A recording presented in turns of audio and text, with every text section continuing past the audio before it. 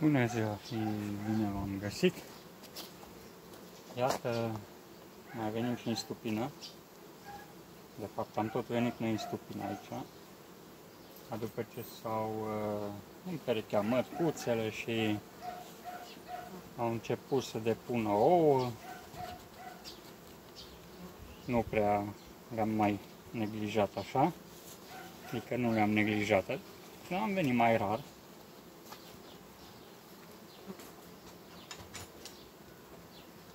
Dar luna asta trebuie să ne ocupăm de ele destul de intens, fiindcă în funcție de ce facem luna asta avem albină pentru iarna. Eh, aici am eh, stupul eh, acela de tablă, e din polistiren. Și aici am făcut un nucleu mic, am făcut un roișor Iată aici avem uh, sticlele. Consumă foarte bine siropul de miere, le dau sirop de miere cu ulei esențial. Uh, eu foarte mare câștig. Aici ce s-a întâmplat? Într-un într-un cat am găsit o matcă plângând. Am luat-o cu albina din cat, și am adus-o aici. Ea s-a împerecheat. Că și să vedem cum arată.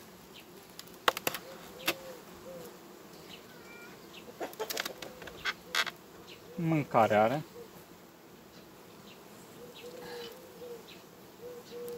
Siropul de miere e, pentru uleiuri esențiale le fac um, un kilogram de miere la 10 litri de apă și punem mixura de ulei esențial.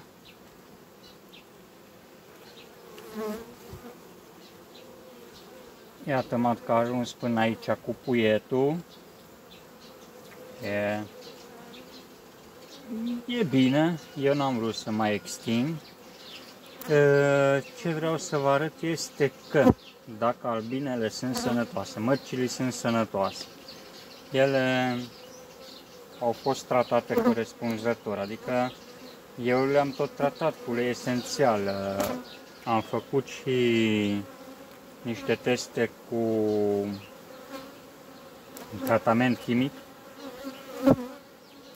Am văzut că nu e problemă. Iată.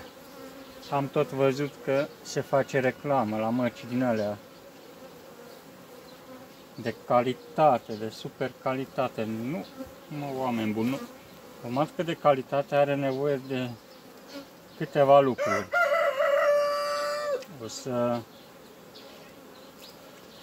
Stuparii ăștia au impresia că dacă o matcă e cumpărată din nu știu ce zonă a României, e mai de calitate decât cea care poți să o obții tu într-o stupină.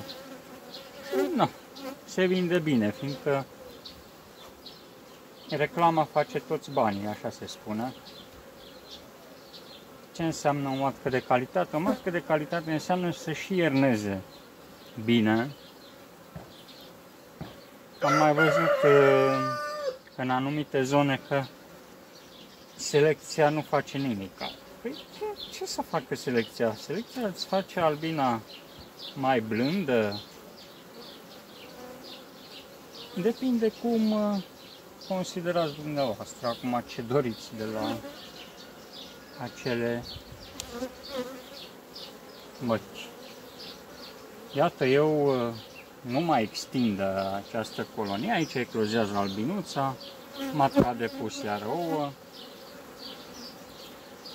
Eu deja văd cam cum iernează aceste colonii. Și asta e una mică. Dar am colonii care au 10 rame de puiet. Asta este un roi făcut uh, făcut acum, anul ăsta. Vreau doar să verific un pic, să văd dacă are blocaj. Nu are blocaje. Uh, față de anii trecuți, nu mai, uh, nu mai pun accent pe mâncare în perioada asta, ci pe puiet. Adică să fie un echilibru, că în momentul în care încep să apare blocaje, Yamat care acum un, uh, un, o explozie din asta. Ea depune foarte multe ouă acum în perioada asta. Vreo două săptămâni are un start din ăsta puternic și se întâmplă să se întâmplă să nu aibă loc din cauza blocajelor care se formează. Bine, cei care sunt uh, pe producție la floarea soarelui, ei mai au încă timp, vreo două săptămâni probabil, depinde cât stau la floarea soarelui. După aia extrag și abia după aceea încep cu stimulări pentru a obține albină de iarnă. Încă nu este albină de iarnă, vreau să specific, dar puietul care iese acum va crește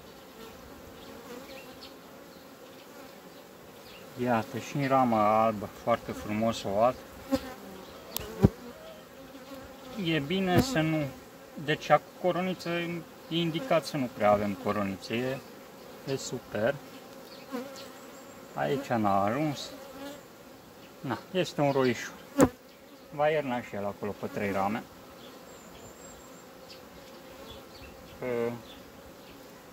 Dar văzând ce am pățit anul acesta, adică coloniile foarte puternice. Am izolat mărcilii total. Acolo au fost și anumite probleme. Noroc cu mărcile care s-au împerecheat, dar am avut de unde înlocui. Sunt, uh, această izolare totală poate să fie și bună și mai puțin bună. Oricum, uh, unele măci cedează, adică unele măci cedează de tot. Adică nu mai sunt bune de nimic, ca puteți să le aruncați la gunoi. Deci nu facem mare lucru la el.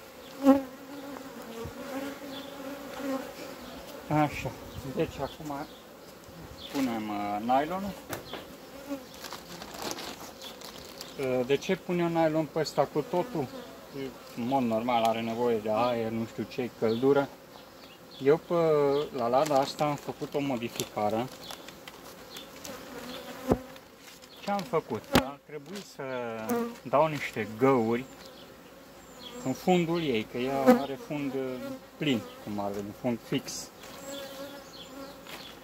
Și am dat niște găuri și sită în partea din spate. Și acolo se formează tot tot curentul de care are nevoie. Tot aerul. Acum avem și umplu sticla cu sirop. Avem o cană și turnăm direct în sticlă. Albinele încă nu ne deranjează, nu e problemă cu furtișoanele.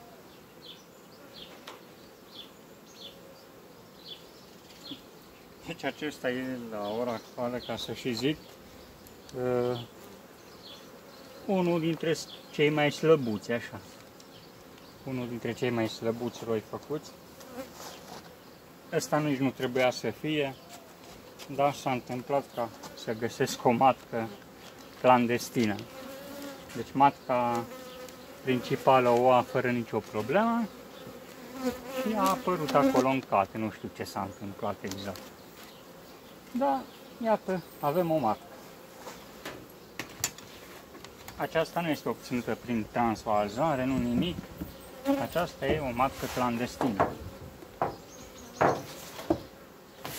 Vom trece și la o marcă, și la o marcă făcută de mine. Asta e singura pe care am lăsat-o, așa să zicem, na, să vedem ce se întâmplă cu ea.